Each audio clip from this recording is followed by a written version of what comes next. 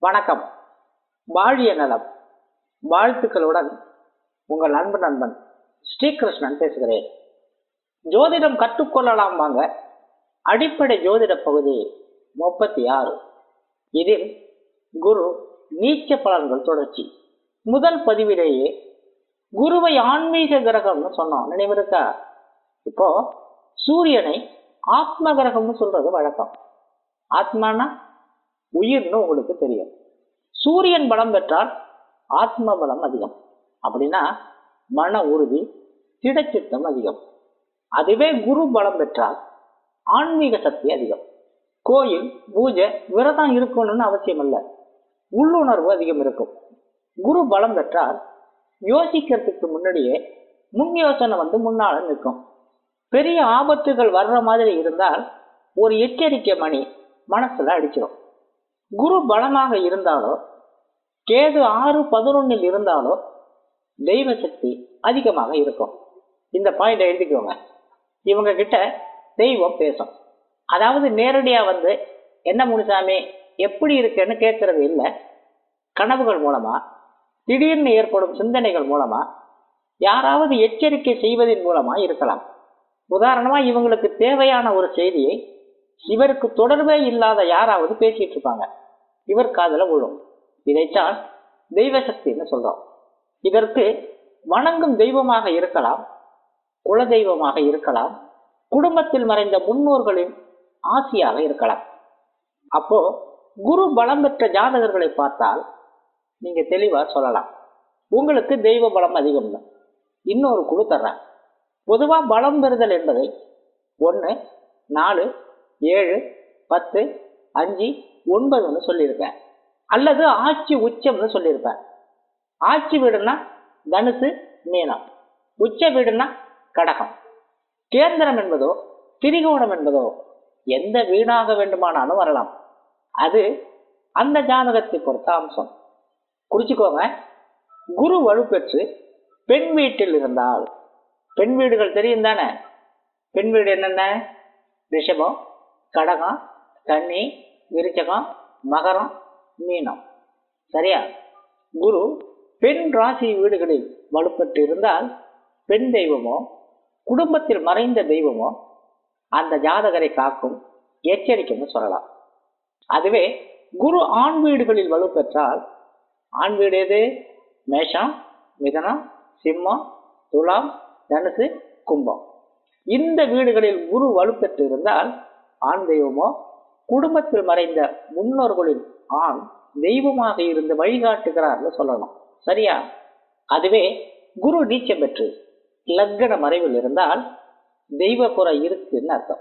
குல தெய்வ வழிபாடுகளையோ முன்னோர் வழிபாட்டையோ சரியாக செய்யவில்லைன்னு அர்த்தம். மகரம் என்பது பெண் வீடு. அப்படின்னா நிச்சயமா குலதெய்வ குறையோ அல்லது கன்னியாகவோ சுமங்கலியாகவோ இருந்து மறைந்த பெண் தெய்வங்களை வழிபடாத குறையாக இருக்கும்னு தைரியமா சொல்லணும். அந்த குறையை நிவர்த்தி செய்யணும்னு பரிகாரமா சொல்லுங்க செய்ய சொல்லுங்க. சரியா? அடுத்து குருவ கௌரவ கிரகம்னு சொன்னேன். என்ன காரணம்? ஒயிட் காலர் வேலைக்கு தான் ஆசைப்படுவாங்க. முதலாளி வேலை காலியா இருந்து கொடுத்தால் கூட சந்தோஷம்தான். உரிய கௌரவம் மரியாதையை கொடுத்தால் உண்மையா இருப்பாங்க. போனா போதுன்னு பத்து வருஷமா அவரை முதலாளியா வச்சிருக்கேன்னு சொன்னாலும் சொல்லலாம். அதுவே குரு நீச்சம் பெறும்பொழுதும் கௌரவம் பார்ப்பாங்களா? இல்லைன்னு மறுக்க முடியாது. நாலு பேர் இருக்கிற குடும்பத்துல தாய் தகப்பன் தனக்கே முக்கியத்துவம் கொடுக்கணும்னு நினைக்கக்கூடியவங்க. பத்து பேர் வேலை செய்யற இடத்துல தனக்கு தனி முக்கியத்துவம் கொடுக்கணும்னு நினைப்பாங்க. கொடுத்தால் போச்சு. கொடுக்கலன்னா செம காண்டிலேயே இருப்பாங்க. வாய்ப்பு கிடைத்தால் வாரி விட்டுருவாங்க படவா ராஸ்கல் அன்னைக்கு என்ன திமிரில் பேசின? உனக்கு இதுவும் வேணும் இன்னும் வேணும் என்று மனதுக்குள் சந்தோஷப்படக்கூடியவங்க.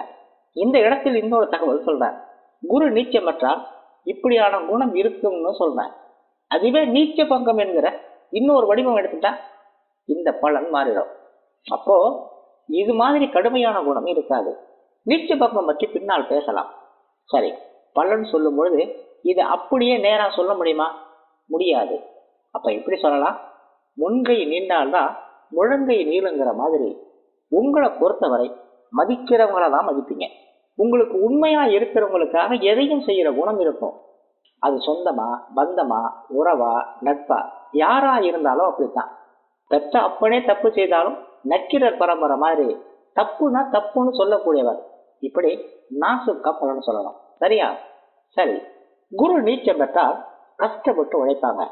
தங்கள் சொந்த முயற்சியில் முன்னுக்கு வருவாங்க. குரு நீச்சம் பெற்று இருக்கும்பொழுது அது லக்ன மறைவாக இருக்கக்கூடாது. லக்கண மறைவு என்ன இடம்? ஆறு எட்டு பன்னெண்டாம் இடம். சிலர் மூன்றாம் இடத்தையும் சேர்த்தே சொல்லுவாங்க. மூன்று பெரிய குற்றம் இல்லை. மறைவு ஸ்தானம் என்ன செய்யும்? மறைவு ஸ்தானத்தில் கிரகங்கள் இருந்தால் என்ன செய்யும்? இந்த பலனை பின்னால விரிவா பேசலாம். இப்போதைக்கு இந்த இடத்திற்கு தேவையான செய்தி என்னன்னா மறைவு ஸ்தானம் என்று சொல்லக்கூடிய ஆறு எட்டு பனிரெண்டில் நீச்சம் பெற்ற குரு இருந்தால் தனக்கு பிடித்திருந்தால் தவறா இருந்தாலும் தொடர்ந்து செய்வாங்க. குடிகாரர்கள் மாதிரி. அடுத்தவங்களை பற்றி கவலைப்பட மாட்டாங்க. அதுவே குரு பலம் பெற்ற ஜாதகர்கள் டிப்டாப்பாக இருப்பாங்களே தவிர இறங்கி வேலை செய்ய முடியாது தெரியாது. அப்படின்னா மற்ற கிரகங்கள் கௌரவ பங்கம் செய்யுமான்னு ஒரு கேள்வி வரும். அப்படியெல்லாம் இல்லை. ஒவ்வொரு மனிதனுக்கும் ஒரு தனித்தன்மை இருக்கு. அதே மாதிரி கிரகங்களுக்கும் தனித்துவம் இருக்கு. இப்போ சூரியன் பலமாக இருந்தால் தந்தையின் சாயலில் இருப்பார் கொளுத்தும் கோடையிலும் வியர்த்து கொட்டினாலும் தடித்த ஆடைகளை உடுத்துவார். பணம் சம்பாதிக்கிறதுல புதிய உடுத்தார் தன்னை மையப்படுத்தியே சிந்திப்பார் கௌரவம் பார்ப்பார். அதுவே சந்தரன் வளர்த்தா தாயின் உருவ ஒற்றுமை அல்லது தாயாரின் குண பிரதிபலிப்புகளை கொண்டவராக இருப்பார். குடும்ப பாசம் உள்ளவர். செவ்வாய் பலம் பெற்றால் முரட்டுத்தனம் முன்கோபி. மற்றவர்களை அடக்கியாள நினைப்பார். இப்படி ஒவ்வொரு கிரகத்திற்கும் ஒரு தனித்தனி குணம் இருக்கு. இதுல குருவுக்கு கௌரவம். சரியா? அடுத்து உறவினர்கள். குரு பலமாக இருந்தால் நல்ல உறவினர்கள் இருப்பாங்க. பலம் பெற்ற குருவோடு பாவர்கள் சேரக்கூடாது. அது முக்கியம். நல்ல உறவினர்கள்னா உண்மையான அன்பு அக்கறை பாசம். நமக்கு ஒண்ணுன்னா துடிக்கிறது. அதுவே குரு நீச்சம் பெற்றிருந்தால் குடுகுடுப்பக்கார மாதிரி சொல்ல வேண்டியதுதான். உங்களை பார்த்து பொறாமப்படுறவங்க அதிகம். கொச்சரப்பு கன்ஃபியூஸ் ஜாஸ்தி. முகத்துக்கு நேராக ஒன்று பேசுவாங்க. முதுகுக்கு பின்னால் வேற பேசுவாங்க. பணம் வருது இல்லைன்னு சொல்ல முடியாது. ஆனால் ஒன்று வந்தால் ரெண்டு செலவாகுது. இப்படியெல்லாம் குரு நீச்சத்திற்கு சொல்லலாம். சரி அப்போ குரு நீச்சம் பெற்றிருந்தால் உறவுகள் கூட காரண காரியங்களோடு பழகுவாங்க. சரியா? சரி பதிவு இந்த அளவில் இருக்கட்டும். குருதட்சணை அனுப்புவதற்கான வங்கி விவரம் இந்த வீடியோவிற்கு கீழே டிஸ்கிரிப்ஷனில் இருக்கு. இனி குருதட்சணை அளித்தவர்கள் விவரம். சௌபாக்கியவதி எம். மேகலா ரூபாய் ஆயிரத்தி ஒன்று. திரு ஆ. பிரபாகரன் வயலூர் திருவள்ளூர் மாவட்டம் ரூபாய் இருநூத்தி ஒன்று. சௌபாக்கியவதி ஆர். கே. பூங்கொடி ரூபாய் இருநூத்தி ஒன்று. சௌபாக்கியவதி சி. மாதேசு ரூபாய் நூற்றி ஒன்று. குருதட்சணை அனுப்பிவிட்டு புகைப்படம் அனுப்பாத நண்பர்கள்.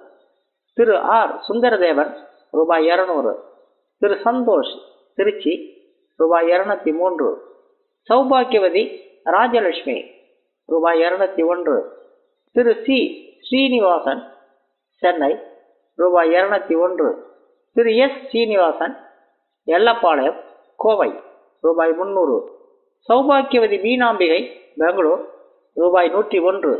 திரு விமல்ராஜ் விழுப்புரம் ரூபாய் நூற்றி ஒன்று. திரு எஸ் கோகுல் ரூபாய் நூற்றி ஒன்று. இன்னும் குருதட்சணை அளித்தவர்கள் பட்டியல் அடுத்த பதிவிலும் தொடரும் என்று சொல்லி. மேடம் ஒரு இனிய தலைப்பில் உங்களை நான் சந்திக்கிறேன். அதுவரை உங்களிடமிருந்து வணக்கம் கூறி விடைபெறுவது உங்கள் அன்பு நண்பன் ஸ்ரீகிருஷ்ணன்